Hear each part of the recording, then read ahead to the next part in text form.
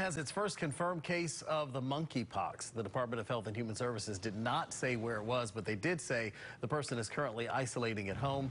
The state is working with the CDC and local health departments to identify people who may have been in contact with that infected person. Monkeypox is typically spread by skin to skin contact. Infected people will experience flu-like symptoms along with a rash that's similar to chickenpox for two to four weeks. We've seen a pretty sizable uptick in the number of cases worldwide, but also better identification, I hope, of cases as they're occurring. So we're now starting to recognise, and I hope the general community will too, what monkeypox is all about.